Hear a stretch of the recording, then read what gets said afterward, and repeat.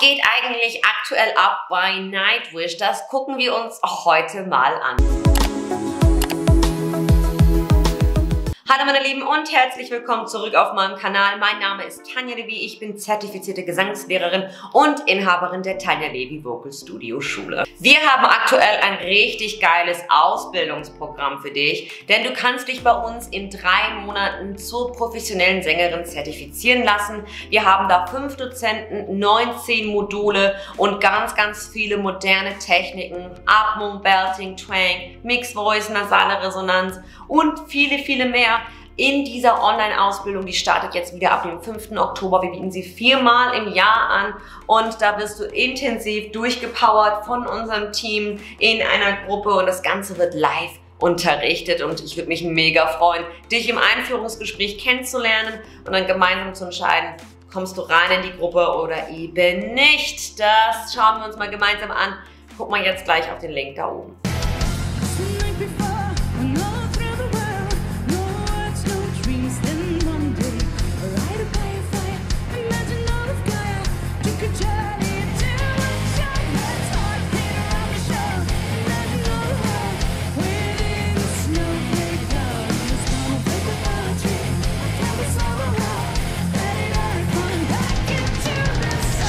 Jetzt muss ich ganz kurz Stopp machen und das mache ich natürlich wegen Copyright Strikes und Blogs und da sind sie im deutschsprachigen Raum natürlich härter als auf anderen amerikanischen Channeln. Wir hatten ja schon mal was zu Nightwish gehabt. Das ist ja immer so ein bisschen schwierig, da muss man ganz genau aufpassen, was man sagt, weil es sonst echt nach hinten losgehen kann. Aber grundsätzlich, ich finde die Flor super. Flor Jansen ist klasse. Ne? Also mir gefällt die schon sehr und das muss ich jetzt mal auch mal ehrlich sagen, das darf ich auch. Das ist ja auch mein Kanal.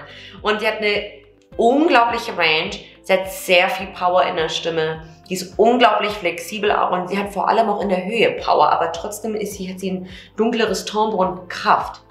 Ich habe sie auch in anderen Formaten gesehen, im Fernsehen und fand das auch wirklich, wirklich stark. Die ist pitch, pitch perfekt und ich finde gerade so, ob das jetzt Rock ist, Heavy Metal Bereich, nicht alle sind live auch stark. Ich habe mir nämlich gerade vorhin noch ein Bon Jovi Video angeschaut, live jetzt aktuell, und war teilweise erschrocken, äh, was eigentlich da passiert ist.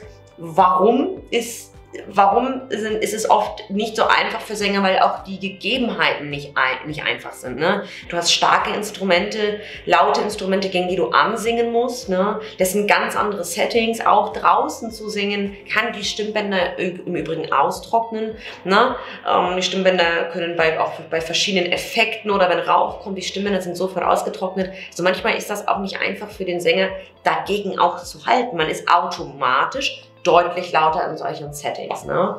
Aber ich finde, hier ist das sehr, sehr gut eingespielt. Wir schauen mal weiter.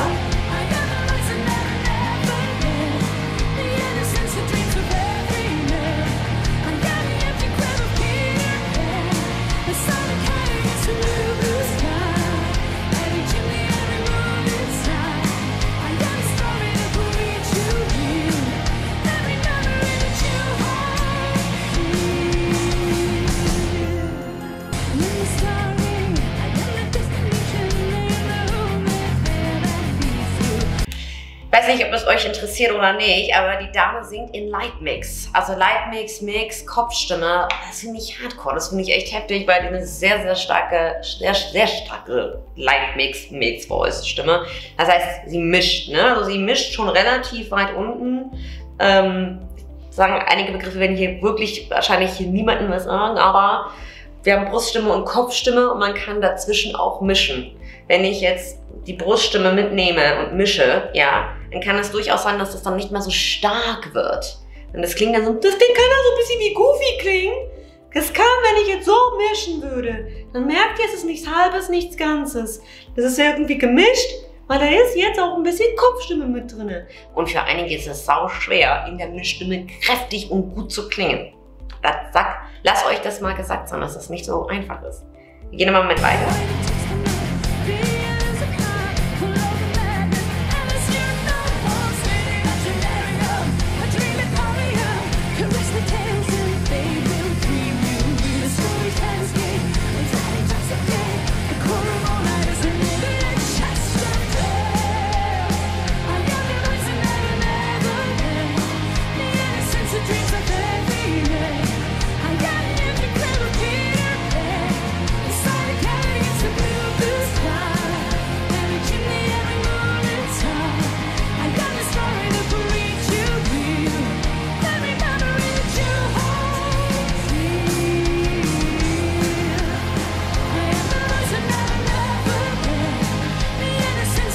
Ja, wir machen auch hier ganz kurz Stopp. Also ich finde, ich finde, sie klingt auch wahnsinnig melodisch. Ne? Also sie, sie, man merkt, dass das eine Stimme ist, die nicht nur komplett klassisch Opera-Hintergrund.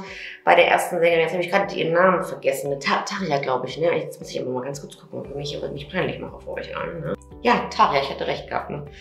So. Ich habe das früher als Teenager viel gehört und dann irgendwie, ich bin immer auf dem Rock einfach nur hängen geblieben. Ne? Also ich war immer schon Billy Idol, Aerosmith, der Glamour Rock, ne?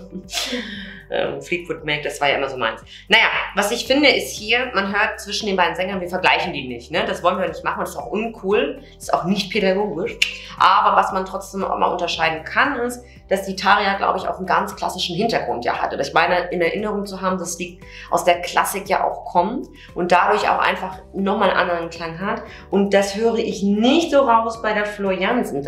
Ich glaube, die ist einfach, ich, ich glaube, vielleicht hat die einfach nur Gesang studiert oder so, aber nicht, glaube ich, mit einem klassischen Hintergrund. Aber schreibt mir das mal in die Kommentare. Vielleicht hat sie das ja auch gemacht und sich auch einfach angepasst, weil ich finde, hier klingt es leichter und poppiger, dadurch, dass der Kehlkopf auch in einer anderen Position ist. Es ist beim Klassik immer dieses Sobbing nennt man das. Ein tieferer Kehlkopf. Oh, das leichte Schluchzen. Ich bin keine klassische Sängerin. Nimmt mich nicht auseinander jetzt, ja. Aber ich kenne die Elemente. Tieferer Kehlkopf, runde Vokale, Sobbing. Letzte Qualities. Wir schauen nochmal ein kleines bisschen rein, dann machen wir Schlusswahl wegen Copyright Strikes.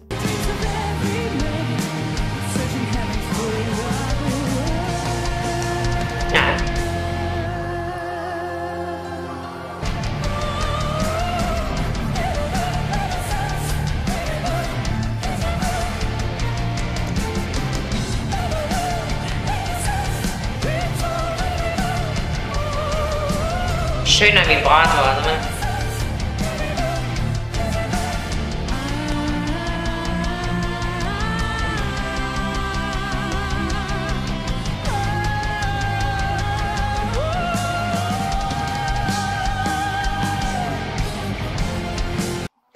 ist auch echt Leistungssport. Ich sag, mach's doch mal selber nach. Geh doch mal selber bitte auf die Bühne und mach das einfach mal nach. Das ist Hardcore-Leistungssport, was sie macht. Ich finde von allen Stilen, die ich mir teilweise auf dem Kanal hier auch anschaue und über zehn Jahre unterrichte ich jetzt Gesang.